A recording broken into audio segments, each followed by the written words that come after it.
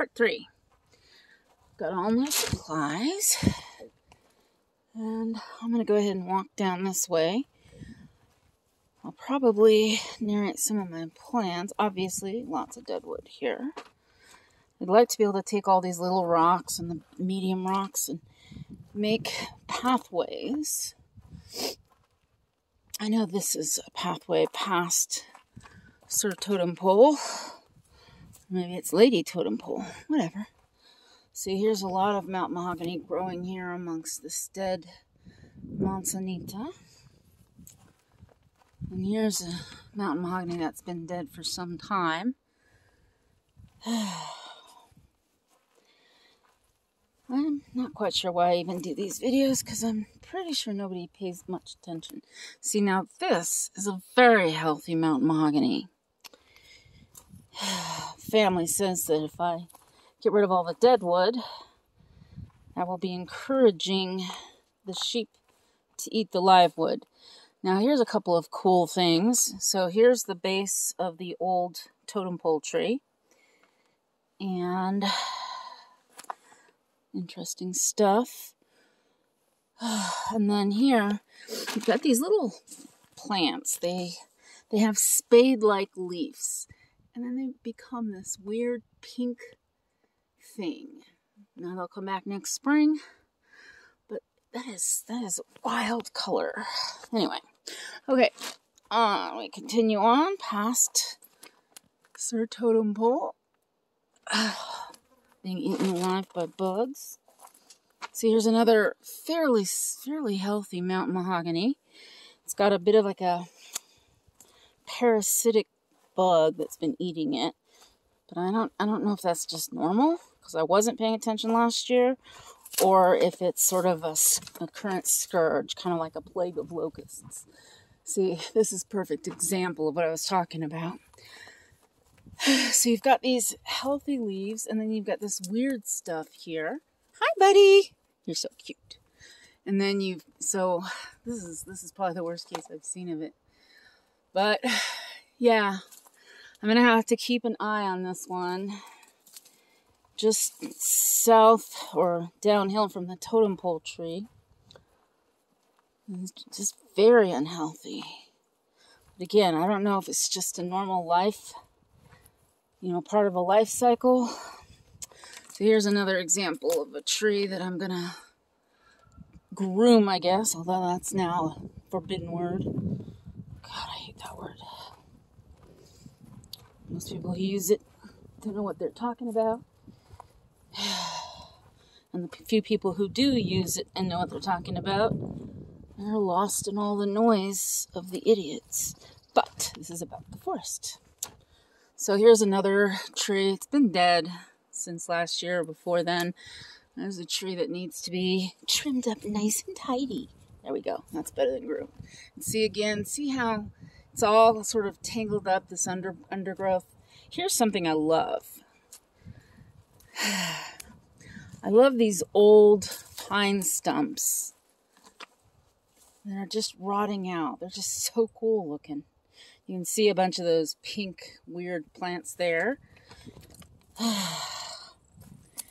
anyway, hi buddy! There's a major rat's nest coming up here. Oh, I'm gonna have to confess to Megan that my goats ate her tree literally in two chomps. So Megan told me that this plant here is a currant. I'm to have to research that. But this is this major rat's nest. And see in the background, you can see that one. Let me see if I can zoom in. So look how huge that is. That is like six feet tall. That is taller than I am. But anyway, uh, let's unzoom. Hi, buddy. You're so beautiful. All right. So this is what I call the Rocky Meadow, and there was a lovely tree, very lovely tree that Megan planted there. See, all of these trees, they're going to need to have some serious pruning or complete decapitation. and here I'm gonna, I can show you some of our lovely wildflowers here. There are, there are just like so many subtle wildflowers in this place. See if I can find a few others. There's some more of the yellows. There's these little purple violet like things. Oh, look at that. It's a velvet ant. I don't know if you can see it. And I hear they, they, they're also called a cow killer because the sting is so painful.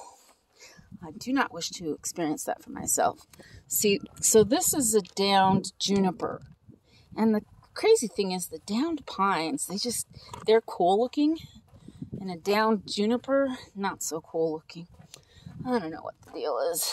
But anyway, so I'm coming down here because I want to show off the area I worked on earlier today.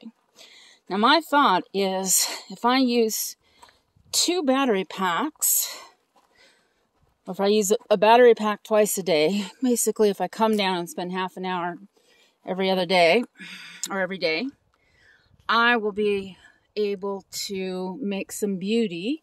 So this tree I did a little bit of work on. And here's a very sick mountain mahogany that probably needs to be pruned to the base. And you can tell I've been at work here. Now I want to I want to cut off what I, I don't know why, but I just think of that as monkey wood, all of that dead wood. So this pine tree can focus on the living wood. But see, this tree is what I'm a little proud of because I feel like that's what I would like the junipers to look like here. And so that's what I'm going to be working on. Aw, here's Buddy having a snack. I love my buddy. so beautiful. But I think I'm being eaten alive by the bugs. Sorry about the not so stable picture. But seeing as how nobody's going to listen to this anyway, what does it matter? Okay. Oh, look, I want to show you that too. So let's walk along here. We're heading back up to the house. In the rocky acres right now, which you can kind of tell because of all the rocks. I was also going to try to find some of those purple flowers that are so cute. See if I can find one. There's some other different yellow flowers down there. I don't know if you can see them. Almost fell on my butt.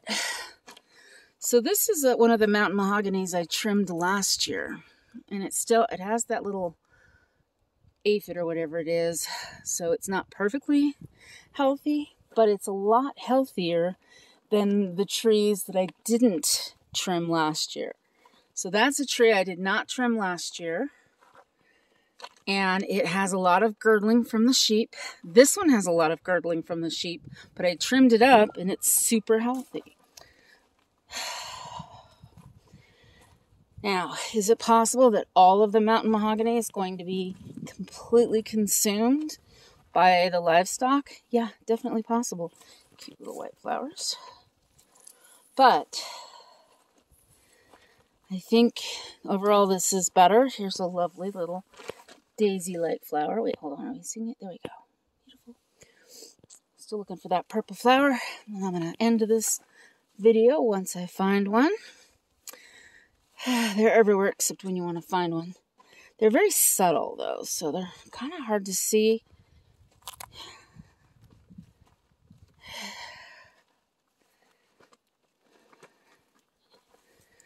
I saw a lot when I was underneath the cedars, so I'm guessing that maybe there's a little bit of symbiosis. Hi, guys! So that they grow where the cedars grow. Where the cedars grow. Sounds like a name of a book or a song. All right, let's see. I know I'm going to find one if I look right around here. So ah, I put my bag down because it's heavy. And I'm going to walk over here. There we go. Found one. See, I don't know. I guess that doesn't help. I don't know if you're seeing it because oh, you see my fingers.